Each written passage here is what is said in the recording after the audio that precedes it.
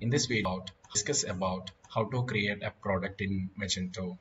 So for that you have to first log in in admin. So give your username password sign in.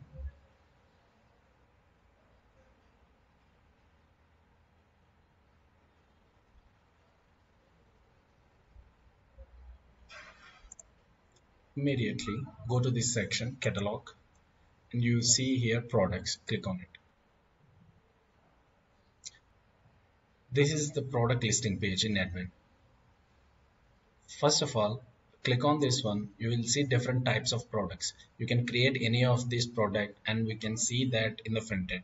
Right now I am just creating one simple product without any options like color uh, or any other variations. So it's just a simple product. Click on this one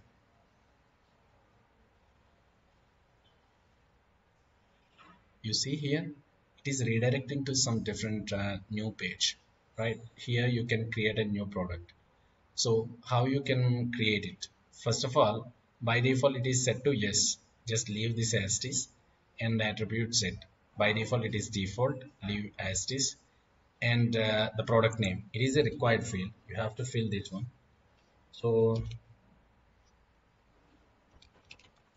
iphone 14 okay my product name is iphone 14 you see here when i enter this product name SKU is also automatically filling. You can change it something to different SKU this is a unique identifier for the product. Now add some uh, price for it. Leave this tax class as it is. It's a taxable goods which is helpful for uh, calculating the tax related information. Okay put some quantity. I'm just giving 100 quantity. That should be in stock. Put some weight. This item has some weight right?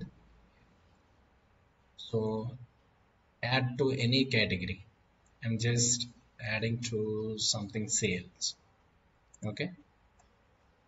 Visibility catalog search here you can see these four options not visible individually. That means you can't see this product in the front end. Catalog means whenever you click this category the product will be appear. And search means whenever you uh, enter the product name or uh, SKU here it will redirect to some result page and will show you that product list. Okay? Now what about this catalog comma search for example if you assign this uh, product to this category right? So when i click this sale category the product will appear. Also when you search the product that time also it will work. Okay?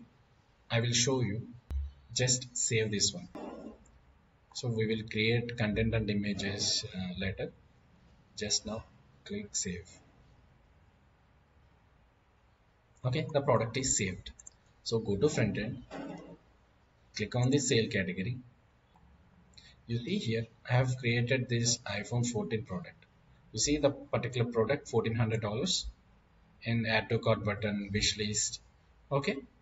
So like this, you can add any number of products to the category or uh, you can search this product with this name or SKU. I will search this one uh, you see here when I enter iPhone 14 it is appearing here. Okay? Exactly the same product right which I have created recently. Uh, this way you can add the product and manage your uh, inventory pro um, product name price etc in the next video we will discuss more in detail about these product types. Okay